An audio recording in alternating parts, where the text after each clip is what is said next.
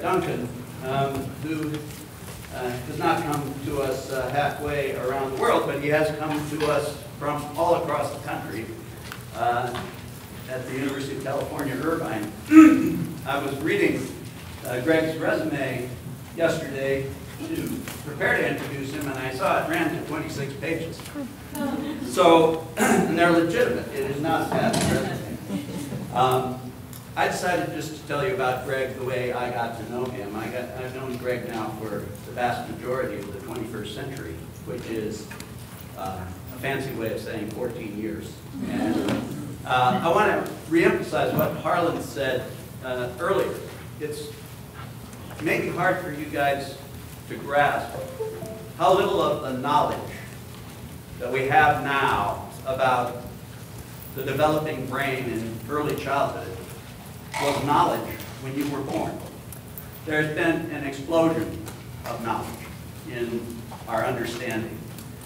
Uh, there's been less of an explosion in the application of that knowledge. So I knew about this because of my first incarnation as a Newsweek bureau chief, and in the 1990s when you guys were being born, so was this knowledge. And time after time, my magazine, Newsweek, put on the cover stories about the explosion in brain science, what we know about the importance of the earliest months, babies, in utero, after that, the first three years, the first five years. We didn't know this when we were your age. Um, so the National Academy of Sciences decided at the end of the 20th century to bring together everything we had learned in the 90s and before about uh, children and how they learn. And that led to a report called Neurons to Neighborhoods, which was co-edited by another friend of the speech school named Jack Shonkoff, who's the director of the Harvard Center for the Developing Child. What happens when the National Academy of Sciences creates a compendium like that is all too often it goes on a shelf and people don't read it. Um, Jack wanted to keep the knowledge alive and growing and evolving.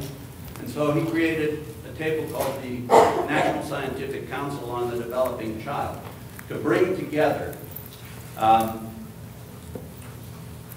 the country's best brain scientists and child development experts who were willing to sit and also, crucially, economists. Because it doesn't matter how you slice it, whether you come at early learning from an understanding of the brain, or an understanding of child psychology, or crucially, an understanding of economics. All these arrows, in broad brush terms, point in the same direction that we haven't paid enough attention to this space.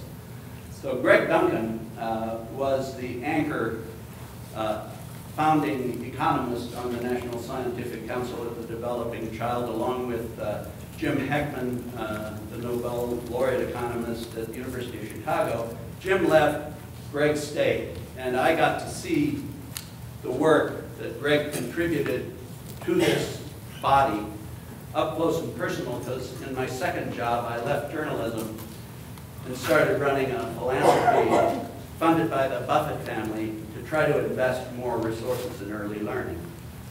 And this table of the country's leading scientists uh, is committed to trying to close the gap between what we know and what we do by better communication.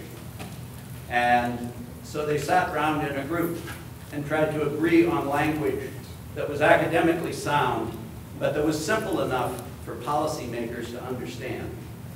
Greg Duncan is a distinguished professor of education and economics. Think about that for a second.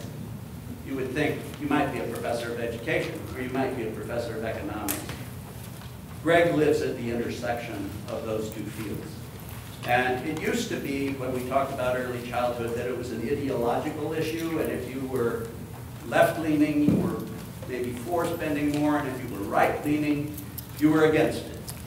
But in the past 15 years, a lot of state legislatures have become uh, fully bipartisan on this issue. And one reason is this issue isn't just a moral issue.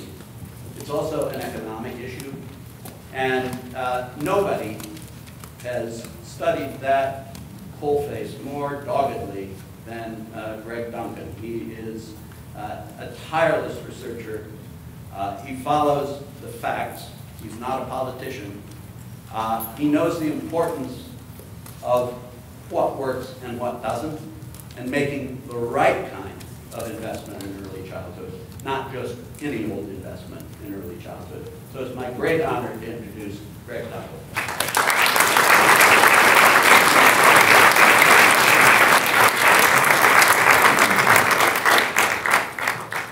All right. Good morning. Good morning. I'm aware of the lateness of the hour, and I won't cut my talk down to 10 minutes, but I won't think the less of anyone has to get up and leave for a couple of minutes. So uh, feel free. Um, Thank you very much, Dan. Uh, It's been wonderful to uh, be able to work with Dan, it's been wonderful to be the token economist on the the National Scientific Council for the Developing Child. Uh, It's neuroscientists, and it's neuroscientists concerned first and foremost with this translation uh, that Dan talked about.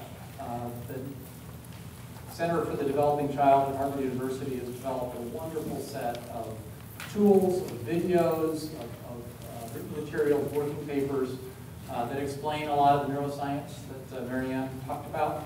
Uh, And they really sweat the, the details. Not only the details of coming up with metaphors for people to understand how the brain works, the idea of toxic stress, the idea of serve and return, the interaction between parents and kids. Uh, The idea that executive functioning is, uh, is all about being an air traffic controller and keeping a lot of things up in the air at the same time. Those are metaphors that were developed in this council. Uh, And when they put together a animation of how the brain works, you see these neuroscientists that, well, that's not right. We shouldn't do it that way.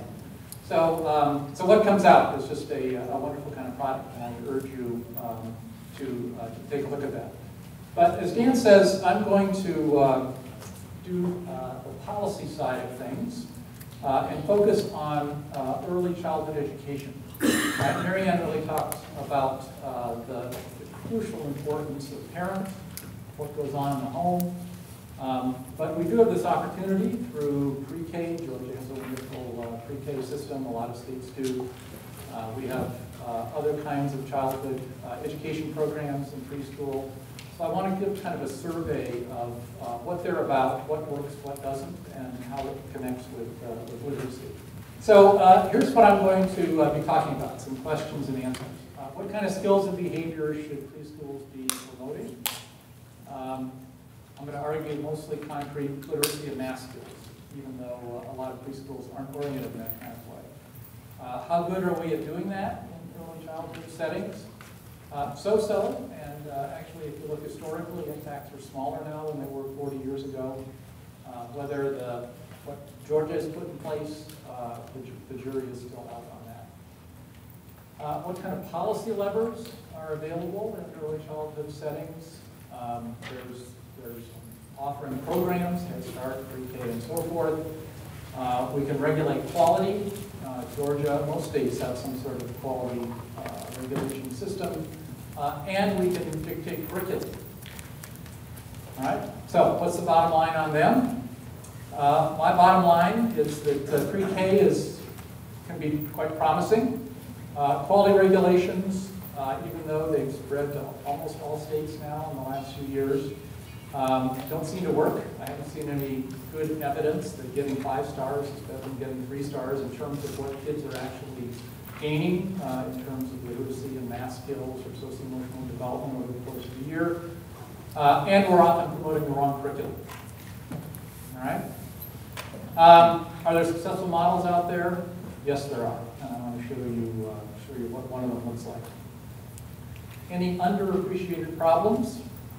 Uh, Recently, I've come to uh, appreciate the importance of fade out. Fact that we have a number of uh, very successful preschool uh, curricula. We can really make gains over the preschool year. Um, What often happens with studies is that they stop at the end of preschool. We don't really know uh, how the kids who made such gains do when they get to elementary school. Um, Well, what happens is uh, those gains often fade out, and they often fade out to zero, right? So the crucial uh, thing that we should be focusing on, and this has been talked about before, isn't just what we do in preschool, but it's how what we do in preschool lines up with what we do in kindergarten, first grade, second grade, so we can sustain the gains. How can we do that? Uh, For literacy and math, we can coordinate uh, pre-K and early grade curriculum uh, in teaching to sustain gains. So I'll be talking about that. So let's, let's start in. What skills and behaviors are most important for school success? Right? Uh, We obviously think of uh, concrete kind of achievement skills. We focused in this uh, conference on literacy, but math skills as well. Uh, You assess those with a simple test. There, are- even in kindergarten and even in preschool, there are quite reliable tests to figure out how kids are doing in terms of their early literacy and numeracy. But uh, developmental psychologists divide up the world uh, more completely than that. Uh, They do it in different ways, but one way of thinking about it is you've got an achievement uh, kind of domain of development. Uh, You have an engagement domain, uh, kids' ability to kind of regulate themselves when they come into kindergarten or preschool, to be able to pay attention, to be able to actively engage in what, uh, what the instruction is, or to actively engage in the kind of play activities that are set up in preschool. Uh, And there are various ways of uh, measuring that. Teachers uh, can be asked whether they can sit still, uh, can concentrate. Uh, There's a computer test, there kind of uh, tests for impulse control. Um, So that's engagement, right? And then a third uh, and fourth dimension is really uh, problem behaviors. Uh, Developmental psychologists call these externalizing problems and acting out, being bullies and things like that. And then internalizing, which is more of a mental health dimension. So um, ability to get along with others is the externalizing side. Sound mental health is the internalizing side. And you can see uh, how you go about assessing those kinds of things, right? So uh, that's the big four. And it's a real controversy which of these kinds of things, uh, which of these domains should we be promoting uh, in order to uh, maximize school earnings. Right? There's a lot of controversy about that. But let's, uh, let's look at how uh, these different domains show up uh, in terms of gaps between high and low income kids when they uh, enter kindergarten. These are data, national data from the United States, uh, showing the gaps uh, between high and low income kids. These are kids in the bottom 20% of the income distribution, basically the poverty population, uh, versus kids in the top 20% of the population. These are kids with family incomes of about $125,000 or more. Many of you are probably in the, the high, uh, high group. Some of you may be in the low. But this is just taking the contrast, top 20%, bottom 20%. Uh, and for either reading or math achievement, the gap is uh, 106. Right? So we're expressing these things in terms of SAT score units, which you might uh, have some reference to. 106 points uh, is what separates uh, high and low income kids. Uh, in terms of standard deviation units, it's a little over one standard deviation. Big gap, huge gap. If you look across kindergarten at how much kids learn in terms of reading skills, math skills, it's about a standard deviation. Right? So low-income kids are coming into first in the kindergarten a whole year behind in terms of their reading and math skills. Actually, the same kind of uh, gaps for general knowledge. Marianne talked about the importance of, uh, of general knowledge. So big gaps that are already there at the start of kindergarten. These other dimensions, smaller gaps, but they always favor the high-income kids. Uh, in terms of engagement, it's about a half a standard deviation gap. In terms of these behaviors, uh, where having a higher score is a, a worse thing, uh, you have uh, smaller gaps favoring high-income kids as well. So um, we hope that schools are uh, our- is an institution in our society that helps equalize opportunities, right? So we can run the motion picture forward uh, to fifth grade in this case, and we can ask, how well have schools reduced these gaps? Well, they haven't reduced any of them, as it turns out. Right? The 106 has gone up to 121, 1.21 standard deviation units. School engagement uh, gap has gone up a little bit. Antisocial behavior uh, changed quite a bit, uh, favoring uh, high-income kids and so forth. All right, so um, that's pretty depressing. Another thing that's depressing is that the the 106, it started kindergarten, used to be small. It used to be about three quarters of a standard deviation 30 or 40 years ago. So the, the gap in achievement between low and high income kids has been growing over the last 40 years. Uh, and it's been growing in part because of increasing income inequality. Uh, it's probably growing in part because of uh, differences in family structure uh, that Marcy Carlson will be talking about. Uh, but, uh, but it's bigger now than it used to be. So why don't these gaps narrow? There are a lot of reasons, but one reason that we discovered uh, is how much of a gap there is in the amount of money that parents are spending on kids. Right? And how much this, this gap has grown too. So this is fairly recent data from about uh, eight years ago. Uh, every couple of years, the government goes out and conducts a consumer expenditure survey. Right? You can actually see how much money parents are spending on their kids. Uh, for computers, for vacations, for um, preschool, uh, child care kind of expenditures, uh, for lessons, uh, you name it. All the kinds of things that parents are spending money on that might help their kids advance. Right? And uh, if you again look at the bottom 20% of the population, low-income parents are spending $1,400 per child per year on these kinds of things. Um, 40 years ago, even after adjusting for inflation, that's higher than it used to. It used to be about $800, right? So low-income parents are spending more. High-income parents, back 40 years ago, were spending about $3,300.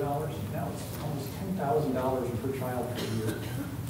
Right? Think about that. $10,000 per child per year high-income families are spending on their kids. $10,000 is about what school districts spend on kids every year. Right? And, you know, it's a great thing that parents are willing to spend money on behalf of their kids. Uh, but if you think about the implications of this uh, in the context of what schools need to do to narrow those gaps, uh, it's really, really difficult because the parents are out there trying to provide every possible advantage for their kids, and some of that takes money, uh, and that money that uh, has uh, increased now, this gap, is going to a substantial extent into uh, spending money on behalf of their kids. Okay, so um, second question. We've got these four different domains. We've got achievement, we've got engagement, we've got uh, behaviors, the externalizing, internalizing. Uh, which of these things should we be promoting in preschool? So this is, uh, this is a correlational study uh, done, uh, again, with a national data set, where kids are assessed coming into school. Uh, It pretty much holds up across almost any data set we have, where uh, you get a snapshot, kids are entering school, you know how good they are at literacy, at math, you have a teacher report about their antisocial behavior, about their engagement. So the question is, which of these things are associated with how well kids are doing years later in school? Right? You talk to kindergarten teachers, a lot of them say, you know, I don't care if my kids are able to uh, know their letters or numbers when they come. If they can, you know, pay attention, uh, engage in, in, in class, uh, I can teach them those things, right? I want a kid who's got good engagement skills. I want a kid who's able to get along with his classmates, get along with me, antisocial behavior. Right? So what this study did was to take measures all those things for kindergarten kids, and then see which of those things was most powerfully associated with how well kids were doing in school uh, three, five, seven years later. And these are the results. So you've got two over there that are essentially of zero association, right? Is that math and reading? Is it antisocial behavior? Uh, If I had more time, I would get uh, a little bit of audience participation. But as it turns out, the two top correlates are the academic skills, right? Kids who come in with the highest uh, levels of math and reading. One thing I want to leave you with is uh, not only about the importance of early literacy, but the importance of early math. Um, and what was very surprising is uh, things like antisocial behavior, right, uh, has have no correlation. And I think what's going on here is, you know, it takes a lot of effort for kids to gain control over their emotions, uh, especially when provoked. And, you know, antisocial behavior peaks at two and a half right? And then, you know, gradually kids get control over their, uh, their emotions. And by the time kids enter kindergarten, some of them have their act together and some of them don't. Um, you know, a fraction of those kids, maybe 20% of the antisocial kids in kindergarten are going to be persistently antisocial, right? And those kids, if we could identify them reliably in kindergarten, those are the kids we need to concentrate our resources because those are the kids who are much less likely to graduate high school, very unlikely to go into college. But we can't easily differentiate those kids from the rest. Right? So as a whole, antisocial behavior in kindergarten isn't very predictive of how kids turn out. If you track antisocial behavior across elementary school and say, are the kids who are persistently antisocial going to do worse later on, the answer is certainly yes. But, but not at kindergarten. So the bottom line here is, uh, if we want to give kids a leg up, uh, we really should be thinking about these concrete literacy and, and math skills uh, in preschool. So how well do early child education promote these kind of cognitive skills? Well, I'm sure everyone's heard of the Perry Preschool Program and the Abecedarian Program, very, very famous uh, early education programs. Uh, they began in the, the, 60s in the case of Perry, Abecedarian in the case, uh, in the 70s in the case of Abecedarian.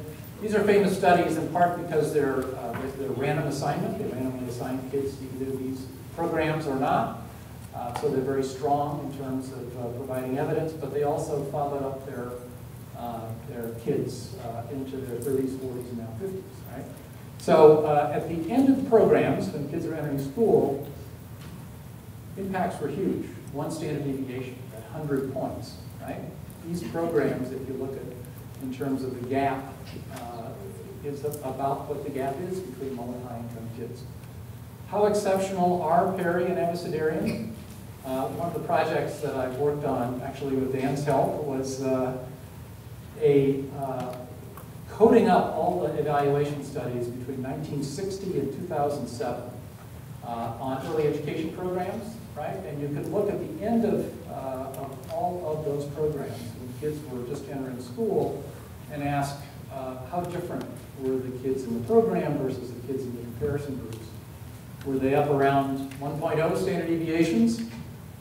Well, they're all over the place, uh, but not many of them are up around 1.0 standard deviations. Right? The typical kinds of programs that were run and evaluated uh, all the way back to 1960 uh, had um, differences between their, impacts, differences between the treatment and control groups uh, that on average was more like a quarter of a standard deviation, one standard deviation. Nothing to sneeze at, but nothing like the miraculous difference that we saw in these programs. Uh, here's the uh, Head Start study that was done about 10 years ago. Uh, differences are uh, about 0.2, 0.3 standard deviations on, on some of the outcomes. Uh, there have been an evaluation of, uh, of pre-K programs. Uh, Georgia was not included in this group, but they had um, positive impacts, but again, more like a 0.2, 0.3 standard deviation difference. Um, I'm going to talk later about uh, a, a fairly exceptional program, the Boston pre-K program, uh, that uh, really did do a very good job uh, much better than typical for pre-K programs of boosting uh, math and literacy. So remember that, that data point, we'll return to it. So, bottom line here, uh, Perry and Abecedarian are truly exceptional, but early childhood education programs can make a difference. Uh, I tried to dig up the um, evidence uh, for Georgia. They have a partnership with the Frank Porter Graham Center at the University of North Carolina Chapel Hill, uh, which uh, is doing uh, good studies on, uh, on the evaluation. Most states really don't want to be evaluated, I think, because the evaluations might turn up uh, evidence of ineffectiveness. Uh, But Georgia's uh, really interested in in how effective this program is, but the jury is still out at this point. All right, so here's this fade-out question. Uh, Do gains that are won by early child education programs, when kids enter school, uh, likely to persist? And uh, Mary Ann talked about one of her programs where you did get even bigger gains uh, a year later, uh, but that's the exception and not the rule. And it's a key problem. Right? So if you go back to this big database with all the studies that were run between 1960 and 2007, uh, and look at the, the impacts, right? At the, the shaded area is the program period. So uh, the two groups, the program group and the control group, uh, don't differ before the program started, right? They ended up gaining about a quarter of a standard deviation. A year later, they lost half of that, and a couple of years later, they've lost another half of that. Right? So the gains that you see uh, at the end of, uh, of the program itself rapidly diminish. One of the most disappointing graphs you'll ever see is from uh, a wonderful uh, preschool math program called Building Blocks. Uh, Very effective program. It's, uh, it's, it- it- it's about 30, 20 minutes a day or so of extra activities. It's play-based. You know, I think uh, a misconception people have for academic programming in in preschool programs is that, well, that's the time when kids sit at their desk and do worksheets, right? That's not true. Good preschool academic programs uh, integrate literacy and numeracy activities into play. Kids are having fun when they're uh, running these programs, and that's certainly true for building blocks. Uh, and building blocks is remarkably successful, 0.6 standard deviations. Big study in, uh, in the Buffalo school system, the Boston school system. Uh, for African American kids, it was 0.8 standard deviations. So you're getting a a difference that is coming close to eliminating the, the low versus high income gap when kids enter kindergarten. But look what happens, right? By the end of uh, second grade, you're down to insignificant, uh, very, very small effects. So whatever gains there were at the end of preschool aren't sustained as you go into uh, the, the school system. Um, I think the lesson is very uh, uh, important here, and that is that, you know, we often have uh, structures of policy that have pre-K over here, K-12 over here, and the two groups aren't talking to one another, right? There are a lot of things you can do to um, try to integrate and sustain the gains, uh, co-locating these programs, having the pre-K uh, in elementary schools. Uh, I think Georgia has that to a substantial extent.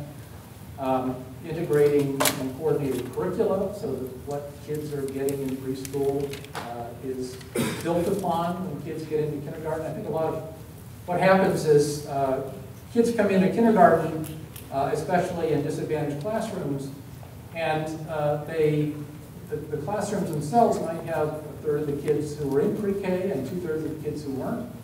The kids who were in pre-K come in knowing their letters and numbers and having decent uh, literacy and numeracy skills.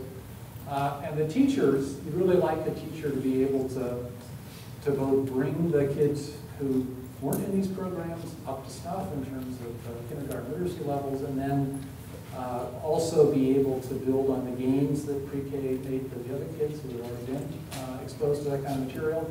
But I think what often happens is the teachers will kind of, well, will check the box, that, that kid uh, knows how to, knows letters and numbers, uh, let's concentrate on the ones who don't, right?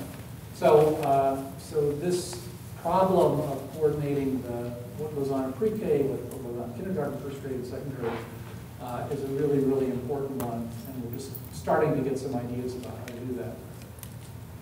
So uh, I know many of you aren't from Georgia, but a few of you are, uh, just to remind people that are.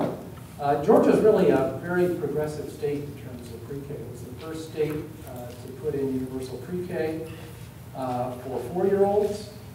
Um, If you look at uh, quality indicators, uh, there's a National Institute of Early Education Research uh, at Rutgers that does this rating of all the the pre-K centers and shows that um, Georgia meets eight of 10 benchmarks. Its class sizes are a bit higher than they would like. Uh, And it's got quite widespread enrollment, 59%. Uh, On the other hand, uh, funding has, uh, has actually fallen uh, in real terms over its period from about 5,600 to $3,900. Uh, And as I say, there's ongoing evaluation and some promising early results, but we really don't know for sure what the bottom line is. So how else can Georgia or any other state, they can offer pre-K, um, how else can they try to promote quality uh, in early childhood education programs? Uh, One is that they can regulate the quality.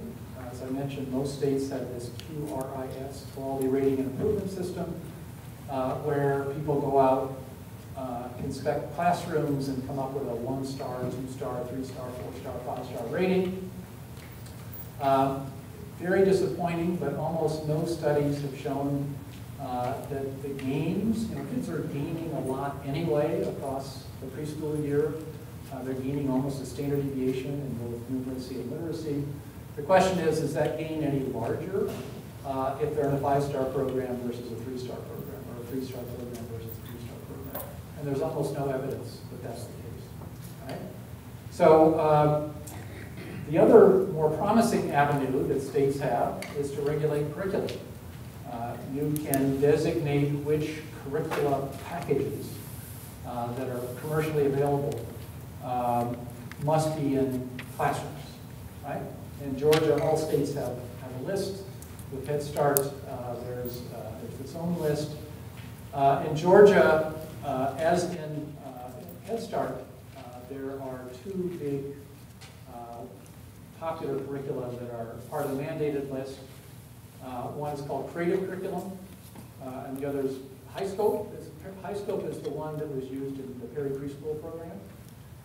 Um, These are whole child curricula. They're, um, uh, they're not, they don't have an explicit academic focus. The idea is that there's a lot of play-based activity, and the teacher is, is taught to to support learning activities through the play that kids are engaged in. Um, There are a bunch of other whole child uh, curricula that, uh, that uh, a center can choose from. Here's a list. Uh, I had to consult some curriculum experts that I knew. They, some of them were familiar, some of them weren't. They're all available online. There's one explicit academic curriculum, OWL, that's on the list. There are no math curricula on the list. Um, So it's important to know how effective are these, right? And um, most curricula haven't been rigorously evaluated. Uh, It's a real um, shame, you know. The FDA sets up a system where in order for a drug to be approved, you have to go through a trial and it's published and it has to go through peer review. uh, And you're not going to be certified unless you go through that process. With curricula, you know, any developer can just set up shop and, and try to sell a curriculum to, uh, to pre-K. So we really do need, uh, some have been rigorously evaluated, but very few. Uh, I I would advocate a much more uh, rigorous approach to designating which curriculum work and which don't. Uh, Creative curriculum, the most popular preschool curriculum, has been tested once in random assignment experiment and found not to be effective. I mean, not to be effective means uh, you don't get any better outcomes, either academic outcomes or socio-emotional outcomes, than if teachers are just developing their own curriculum. Right? Uh, High scope, the Perry preschool curriculum certainly worked for Perry, but um, there's no recent evidence on comparative effectiveness. Um, But if you add a focused literacy curriculum or a focused math curriculum to what's already there, uh, you can get quite significant gains uh, with particular curricula. Some literacy curricula don't work. There are a couple of math curricula that work well. Remember, uh, remember building blocks, right? That's one of the, the supplemental uh, math curricula that produced big gains, big gains, 20 minutes a day. Um, So uh, we have the tools now with these curricula to go through and boost uh, math and literacy uh, to make kids more ready for school. Um, We just aren't mandating them, and they typically aren't part of our classrooms. Are there strong models out there? Um, One that I've been um, doing some research on is the Boston pre-K model. It's a very interesting uh, um, pre-K system where um, it's very curriculum-based. It's not a a whole child, let every child explore, uh, but all the preschool classes are pretty much on the same page every day.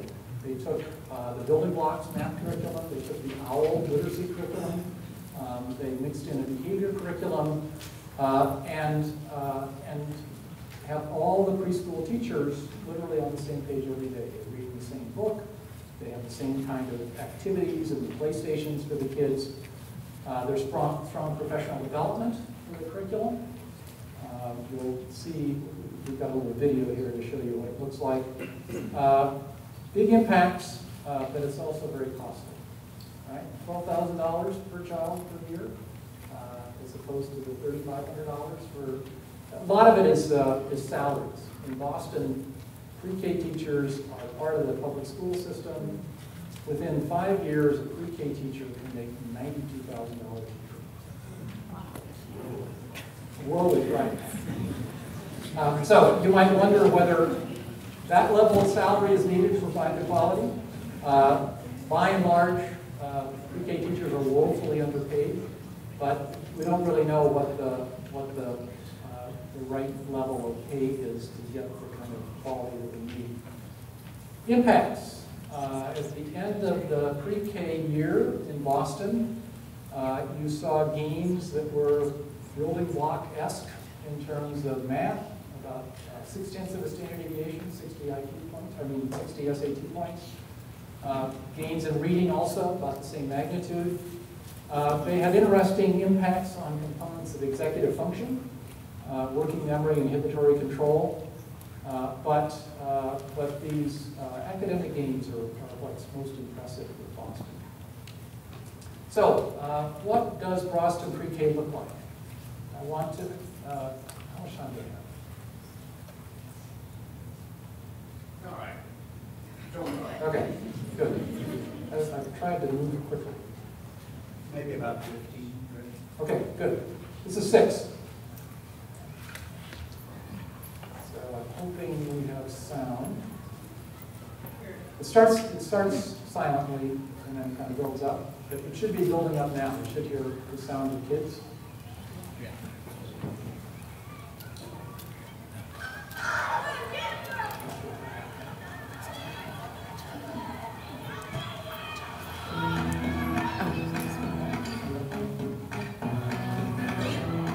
Mather is the first public elementary school in North America, founded in 1639 in Boston. Good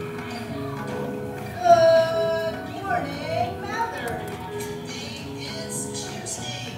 We are over 600 children. Good morning to the sunshine.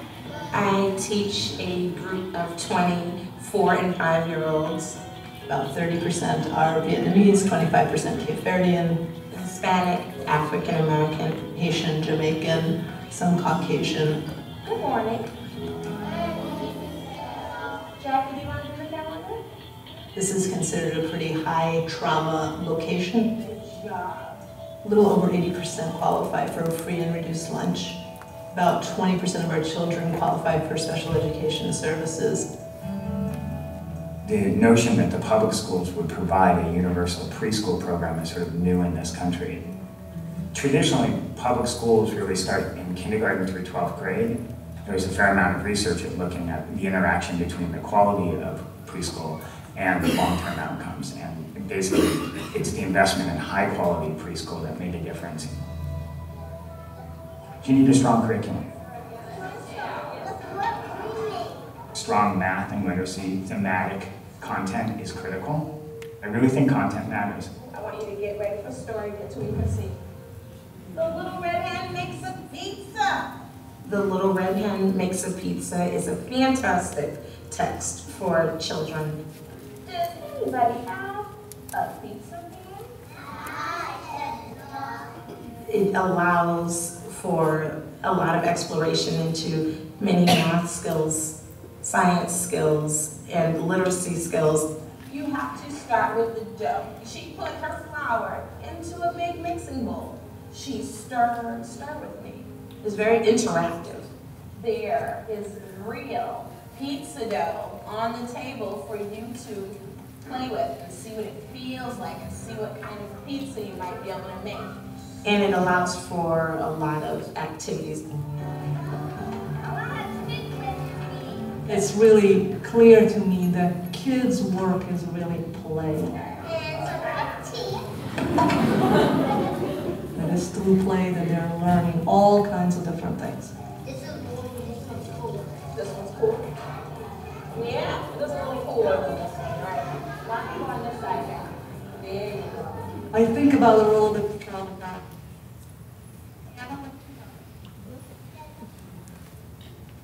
Role is to be engaged,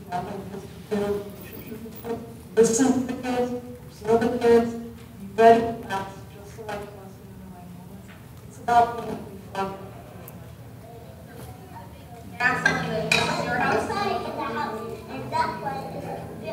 Coaching plays a critical role in supporting teachers to really think reflectively about their practice. Raise a quiet hand if you would like to say what you saw and were made of one. By observing them, gathering notes, noticing the practices they're doing well in, things that they're struggling with, and giving them feedback on this process, that they're really able to reflect. I think that there's a lot of materials here that reaffirms what you're doing, and also some places where you can really stretch and go deeper with some of the things you're facilitating with the kids. You have to think about what are the supports and structures that help you support teachers. We use something called the National Association for the Education of Young Children Accreditation System. That is a pretty comprehensive approach to looking at what good early care and education quality should look like. We have 80 schools that we have access to and teachers, and we can do professional development in a much more quality way. Do you feel like you're using lots of different variety of responses and approaches? When you're mentoring, you're actually using criteria from NAEYC that's very in-depth. We hire community-based coaches. The coach really is there to help facilitate the teacher's thinking, and we do two-hour trainings once a month with teachers. All right, who remembers something that we've read from the salmon book? So when we sit in a group, how does it work if you want to say something? Uh-huh. The hand-raising strategy that you're using is to remind them, Right. very excited to share ideas and It's not that effective though. Okay. If you all talk at once, I cannot hear you. I cannot understand you. Something else that you could do that I observe in another classroom, a teacher used a visual.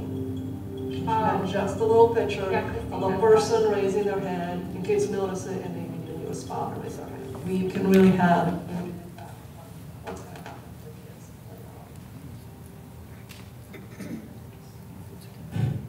Very bright. Yes. Even the youngest ones.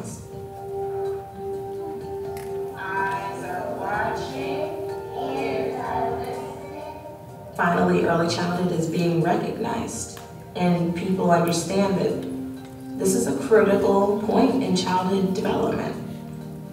And so we should be accountable. I think that's great.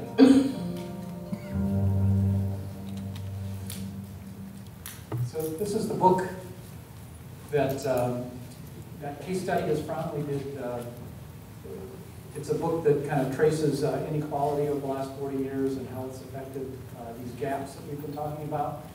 And um, we did three case studies uh, based on uh, proven programs. One is a preschool, one is an elementary school.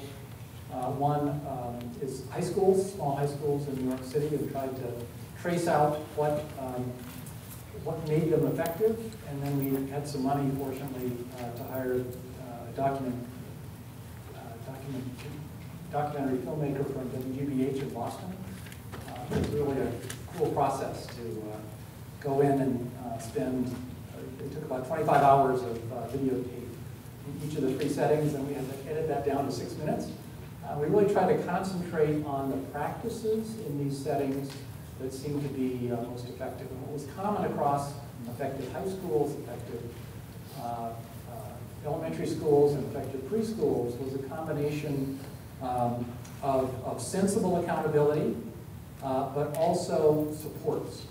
Right? And I think one of the things that you saw in the video is how extensive the teacher's role was supported. They had professional development uh, in general about the curriculum, but then they had the system of coaches, where the coaches would come in and observe them from time to time in a very systematic way, and then sit down and, uh, and talk about uh, what was working, what wasn't working, and try to get some help on, uh, on trying to be better. So with pre-K, it's very, very tough, because if you're, uh, if you have kids engaged in a lot of uh, activities, um, you have to somehow integrate the learning into those activities. And that's a really tough thing to do. You've got to get uh, somehow uh, an accumulation of literacy skills over the course of the year, an accumulation of math skills over the course of the year. Uh, And that's what that curriculum uh, was really all about, trying to sequence those things over the course of the year.